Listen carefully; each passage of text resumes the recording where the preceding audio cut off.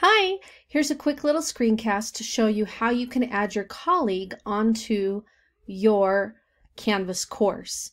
So from the course navigation here, you're going to scroll down until you find people.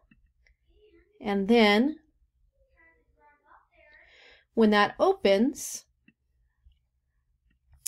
you come over here to the upper right and you're going to click on add people.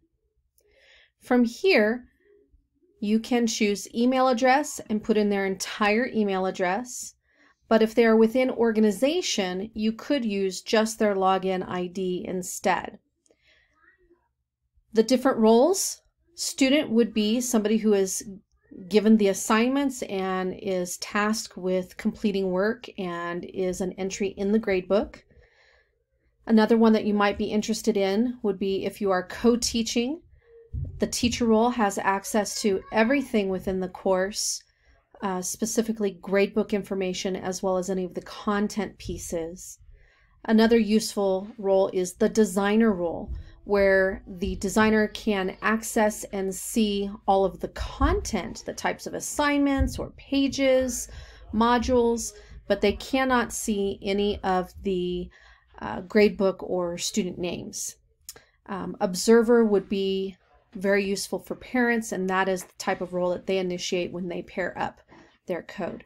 So uh, I would recommend if you're adding a colleague in that you make them a designer because then you can uh, observe the content and engage with the content and see what's there.